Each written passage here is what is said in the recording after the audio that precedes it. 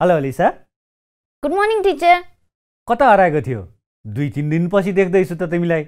ल बाबाले कल गर्नु भएन तपाईँलाई? मैले झन् कल गरिदिनु है भनेको थिएँ।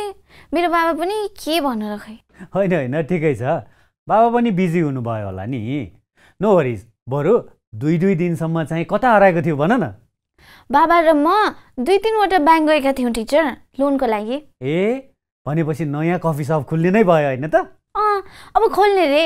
तपाईँलाई थाहा छ टिचर मैले एउटा प्लान गरेँ नि यो दुई दिनमा। हो? के प्लान गर्यो भन त? मैले फ्युचरमा के बन्ने भन्ने प्लान गरेँ नि म फ्युचरमा ब्याङ्कमा जब गर्ने हो। अस्ति कुन दिन एयरपोर्ट जाँदा एयर होस्टेस बन्छु भन्थ्यौ त? अनि एकपटक स्टेडियम जाँदा खेलाडी हुन्छु भन्दै आएको पनि याद छ मलाई। धन्न तिमी चिडियाखाना चाहिँ गएको छैनौ होला अहिलेसम्म। यसरी नै जिस्काउनुहुन्छ अनि मलाई के भन्ने मन लाग्दैन तपाईँलाई। यसो रमाइलो पो गरेको त। अनि भन ब्याङ्कमा जब गर्ने प्लान गर्ने मान्छेलाई ब्याङ्क सम्बन्धी के के थाहा छ त? थाहा छ नि टिचर ब्याङ्कमा मानिसहरूले सेभिङ गर्छन् लोन लिन्छन् अरू पनि धेरै काम गर्छन्। ओहो तिमीलाई त धेरै कुरा थाहा रहेछ। ल भन त नेपालमा कति किसिमका ब्याङ्कहरू छन्? ल यस्तो त कहाँ थाहा छ त मलाई? ल ल ठिकै छ। तिमीलाई ब्याङ्कमा एकदमै इन्ट्रेस्ट लागेको जस्तो लाग्यो मलाई। आज हामी ब्याङ्क सम्बन्धी नै केही डिस्कस गरौँ है त? हुन्छ टिचर अनि आज हामी ब्याङ्क सम्बन्धी के के कुरा डिस्कस गर्छौँ? आज हामी ब्याङ्कको मिनिङ र यसका टाइप्स या क्लासिफिकेसनबारे डिस्कस गर्छौँ। हस् हुन्छ। त्यसो भए तिमीलाई थाहा भए अनुसार भन त ब्याङ्क भनेको के हो? ब्याङ्क ब्याङ्क भनेको पैसा जम्मा गर्ने र निकाल्ने ठाउँ हो।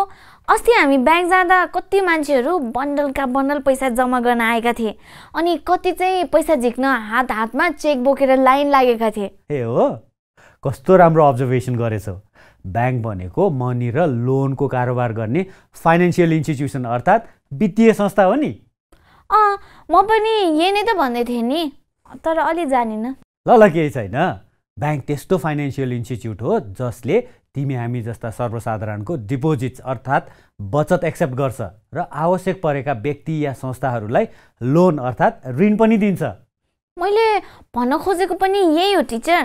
तर तपाईँले जस्तो मिलाएर भन्नै जानेन। त्यस्तो होइन। तिम्रो बुझाइ एकदम ठिक छ। डोन्ट वरी हो? मैले भनेको जसरी भने पनि हुन्छ टिचर। हुन्छ नि।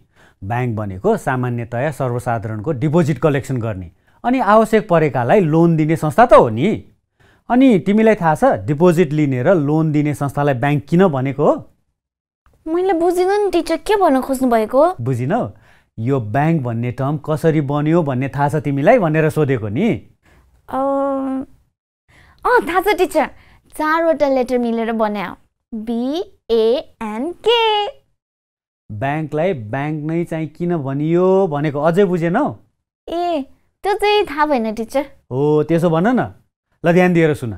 ब्याङ्क शब्दको उत्पत्तिबारे कुनै एकल तर्क छैन। कसैले ब्याङ्कलाई फ्रेन्च वर्ड बङ्कबाट कसैले इटालियन स्पेनिस वर्ड ब्याङ्काबाट आएको भन्छन्। यस्तो पो रहेछ कुरो। अनि मलाई कसरी थाहा हुन्थ्यो?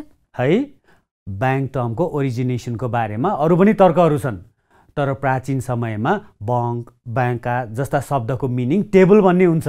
नेपाली मान्छेलाई फ्रेन्च इटालियन स्पेनिस सबै एकै दिनमा पढाएपछि कसरी बुझ्नु? केही बुझेन। त्यति धेरै टाउको दुखाउनु पर्दैन के? तिमीले के मात्रै बुझे हुन्छ भने ब्याङ्क भन्ने टर्मको ओरिजिनेसन बारेमा सिङ्गल आर्गुमेन्ट छैन। अनि जुन ल्याङ्ग्वेजबाट ब्याङ्क टर्म डिराइभ भएको भए पनि यसको मिनिङ त एउटै हो। हो त्यही मिनिङ चाहिँ कसरी टेबल भन्ने टर्मसँग रिलेटेड भयो भन्ने चाहिँ बुझिन भन्न खोजेको के टिचर? म ठ्याक्कै त्यसैमा आउँदै थिएँ। सुन एन्सियन्ट टाइममा मनी र लोनको कारोबार टेबलको प्रयोग गरेर गरिन्थ्यो रे। ए अनि? अनि टेबलको प्रयोग गरेर मनीको कारोबार गर्नुलाई फ्रेन्च ल्याङ्ग्वेजमा बङ्क अनि इटालियन र स्पेनिस ल्याङ्ग्वेजमा बङ्का भनिन्थ्यो। ल अब चाहिँ बुझेँ टिचर। गुड अनि हाम्रो समाजमा हुने जति पनि इकोनोमिक एक्टिभिटीहरू छन् सबै एक्टिभिटीहरू प्रत्यक्ष अप्रत्यक्ष रूपमा ब्याङ्कसँगै जोडिएका हुन्छन्। र विभिन्न किसिमका इकोनोमिक एक्टिभिटिज एकै प्रकारको ब्याङ्कबाट सम्भव हुँदैन। अँ त्यो त थाहा छ टिचर मलाई। कोही मान्छेहरूले ब्याङ्कबाट बिजनेस गर्नको लागि कसैले एग्रिकल्चर पर्पजको लागि कसैले गाडी किन्नको लागि लोन लिन्छन्।